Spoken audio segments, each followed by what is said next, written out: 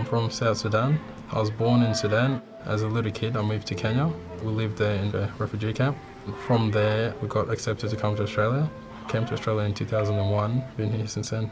I've got Nigerian roots. Uh, I started playing when I was 16. Sort of fell into the game. I didn't sort of fully decide to play. I fell into it at school. I went through that program. Very, very fortunate. There's a strong talent pathway in AFL Queensland, and um, got drafted to the Suns. I was born in Fiji. Came across uh, when I was four in 1987. Um, obviously coming from Fiji, Polynesian background, very big on rugby. So you know, came over here. There was no rugby at all. I was in school. I used to play basketball at lunch, and no one really played. So like all my friends, they played footy, and um, one of them invited me down to come for training, and I just started loving it from there.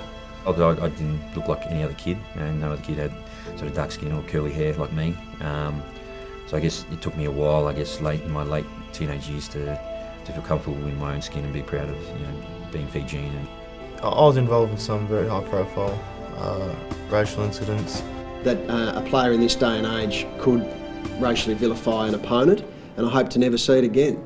At the end of the day, when I look back at my experience, words hurt, but the challenge is just having people speak for you and they have no idea the actual struggle. Us players, are ambassadors, are going to go into the community, go into our areas, to promote community engagement, cultural engagement. Uh, I've got All Nations Camp, which, which I've been involved in. Uh, I've got some uh, community development programs with uh, the, the State League. It's using our backgrounds and social awareness and cultural awareness to then promote that throughout the community.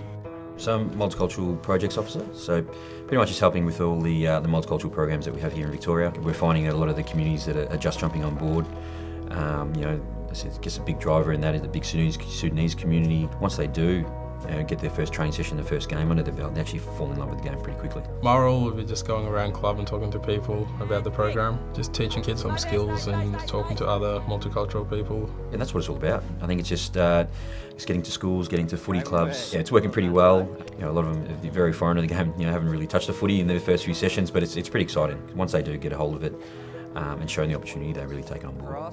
I probably haven't seen that excitement for a long time. These guys were amazing and sort of um, inspired me and I was like, wow, that's that's the purity of the game, that expression. These programs bring them together, they can feel comfortable in that environment because obviously they're all the same.